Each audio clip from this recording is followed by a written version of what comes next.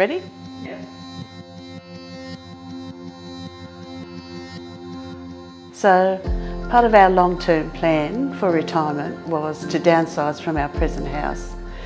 And so, just by sheer luck, Kathleen came to our house one night and we took everything from there.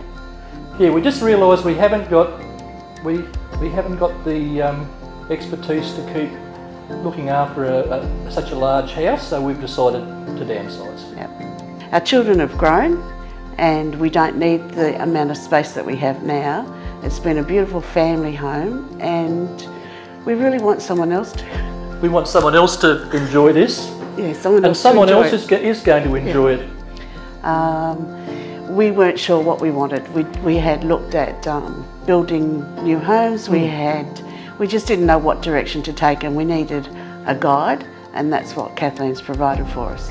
We've lived here for 32 years, and um, and we will be sad to go, Yeah. but we want to do it now while we're still young, still able, Yeah. and um, still mobile, and we want to start a fresh new life when we retire. Yeah, yeah. We were wanting somebody who would guide us, not push us, but just tell us what the timeline was and the process and what we needed to do. And we were really motivated to move, and we wanted somebody who was equally motivated. And we found that with Kathleen. We, um, we're so glad we went with Stones and Kathleen because she went beyond, beyond the call of duty.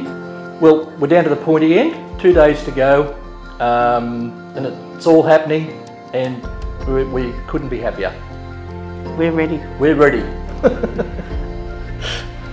Can't wait.